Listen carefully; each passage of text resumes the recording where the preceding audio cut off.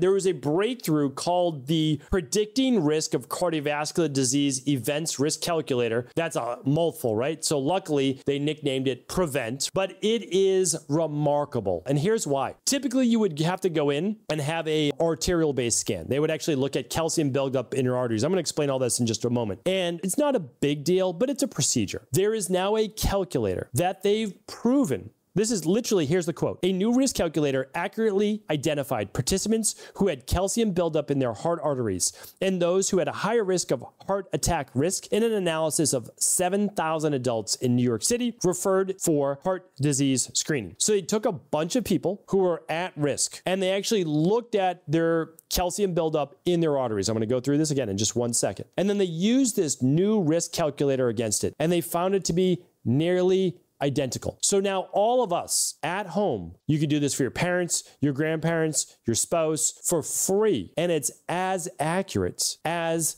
the previous calcium risk assessment.